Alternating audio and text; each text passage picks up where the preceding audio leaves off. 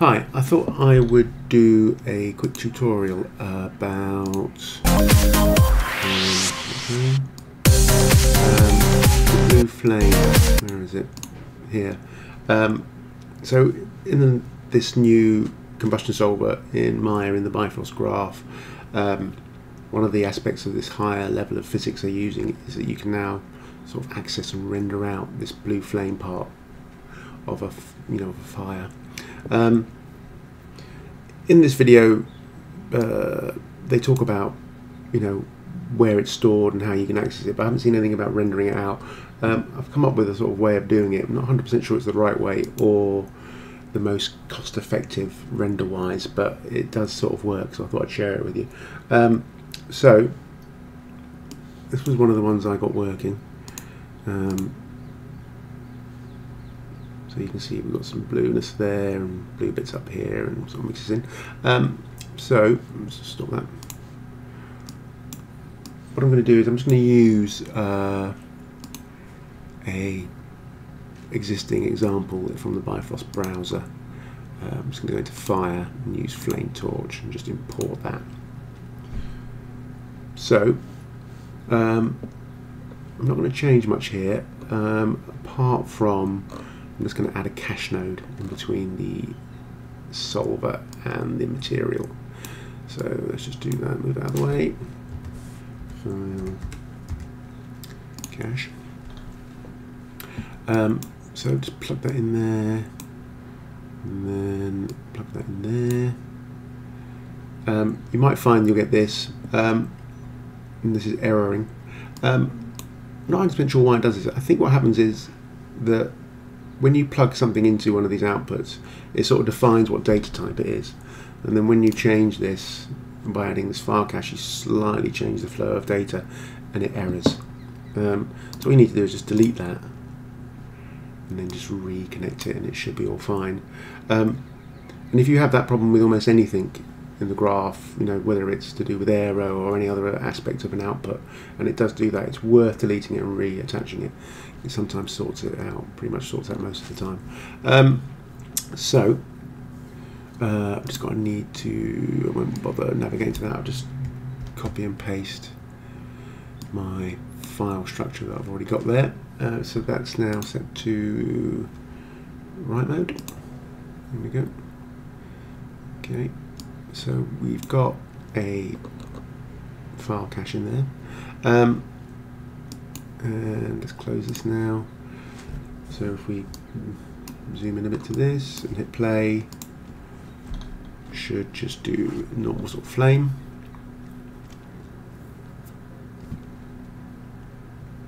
Yeah good. Right so turning on the uh, blue flame aspect and getting that out. So if you go to the aero combustion settings, there is a attribute called store blue flame. Um, and if I just add a watch point here, so this is everything that's coming out of the aero. This is all the data we're getting. Um, and if I just select that again let's move back over here you'll notice when I turn this on we're going to get a new attribute here uh, which is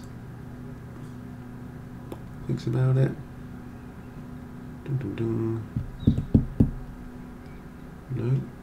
no funny turn Shall I rewind it give it a rewind so I'm just going to rewind that have to sort of recompile it. There we go. Um, so let's go back to this so we can see it going on and off. Um, so off. This is what it is beforehand, and if you look here, we're going to get a new one called Voxel combustion rate and this is where that blue flame is stored um, so we just want to access that in our shader so how I went about it was if I just delete this backdrop now remove watch point. There we go. Um, so how I went about it was I went assign material, so I make a new material. And I'm just going to plug the output of that into that one. Like so. And then I'm going to go to my hypershade and under Arnold shaders going to make a new AI standard volume. I'm just going to call that blue.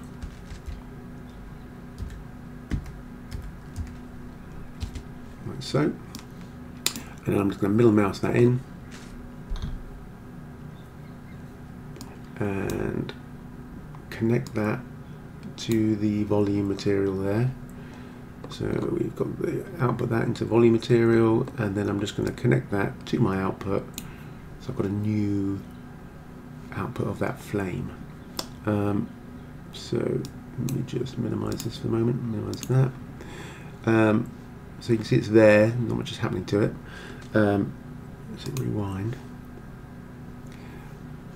So that's that one. This is this one, which might call that blue, so we know which one it is. And this one we deleted earlier, I'm just going to get rid of that. And that one's a sphere. Let's get rid of that. I'm just going to call that sphere, so we know what these different if objects are.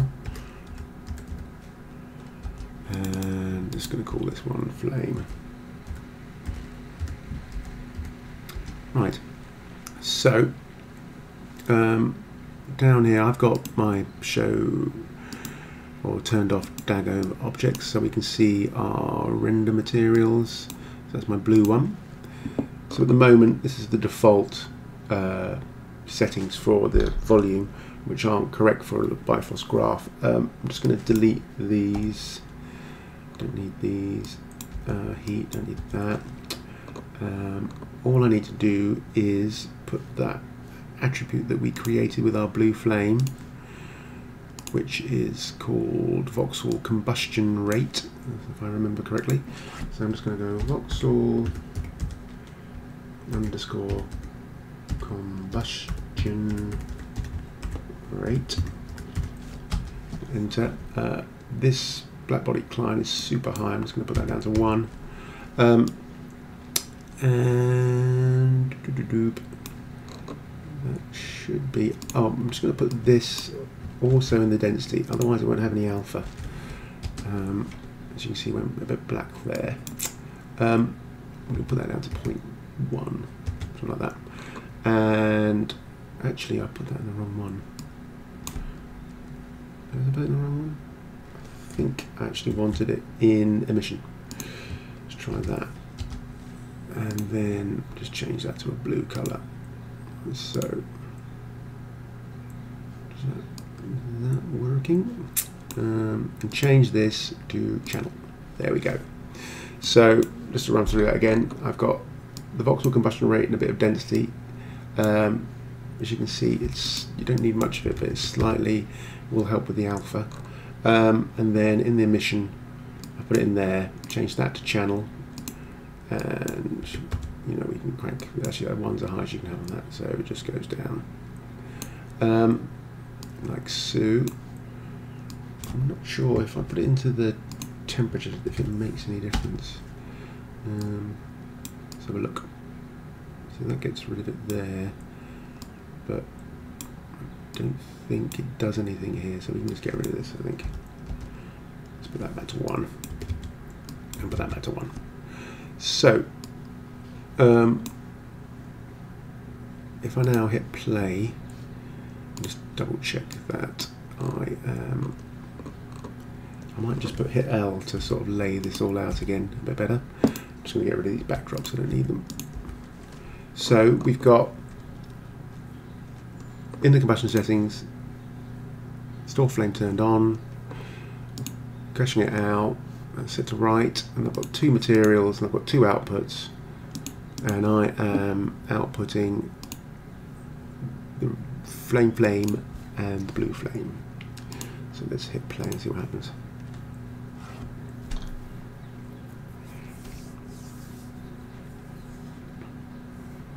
So as you can see, we've got both of them there on top of each other.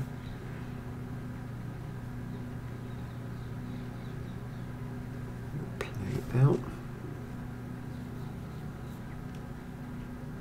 Um, in the viewport, you will get this sort of flashing because I think it's a uh, the viewport's having trouble reading the two different materials and it's sort of jumping between the two, so you get a sort of bit of a flashing going on, um, but it renders okay. So, I hit that, that play, stop that now. I'm just going to change this uh, once it stops. Escape on the keyboard, yep. Um, just change this back to read, so there we go. Right, so now we have, uh, if I select the blue flame and I isolate that, you see we've got this blue flame, which is using the combustion rate, and then we've got our normal flame, get rid of that. Um, I could just do this. See, we've got these two different flames. Um, and if I go into the material for the flame torch material, which is there, uh, I might drop this down to like 1. Maybe even 0.5. No, 0.9 is good. I'll just leave it like that. Um, so, I'm just going to make a light. Or just for quickness, I'm just going to do a physical sky and let's have a look at the render having a render view that looks a bit weird what's going on there no open render view Ooh, okay. Oh maybe because of that. Let's just delete those from a previous thing I was doing. Play. I'll pause it while it thinks about it.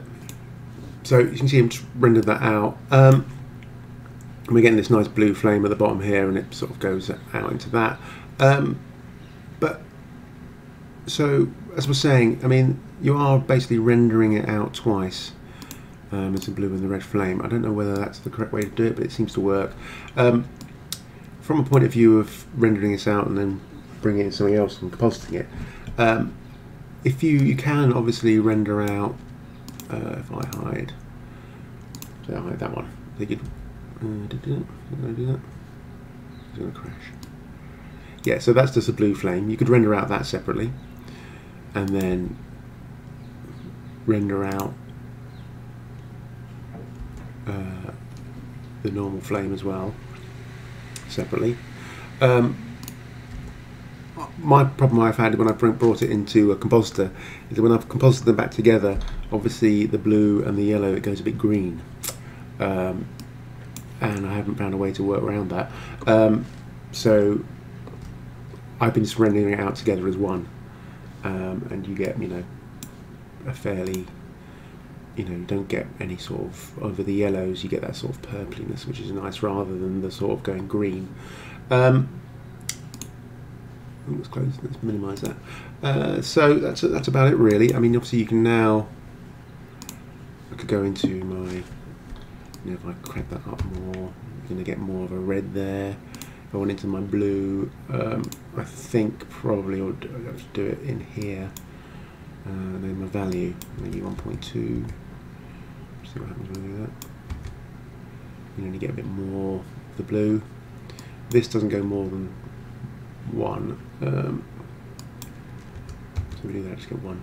So take that down to spears, you get a tiny little bit there. 0.5. So you can play around like that. Um, but as you can see, it looks really nice when it's rendered out. So that's it really. I'll just quickly back, go over the graph again. Um, so all I've done is I've turned on uh, store blue flame here I've assigned a new material with from the output of the cache uh, with this this other standard volume which is the blue one and then in the settings um, I've put a little bit I put the voxel combustion rate in the density and the emission um, if I hide this just so we uh, hit render. So we get that, um, and I'll just hide the flame as well. So we just get the blue flame and then go back to the blue flame.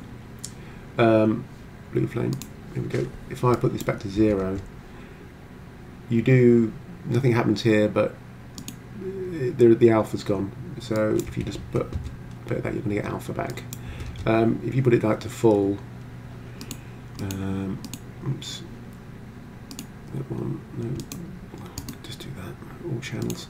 Um, it slightly starts to darken it a bit, you can see there. Um, so I just put a little bit in there just to get a bit of an alpha out of it, which you can see there.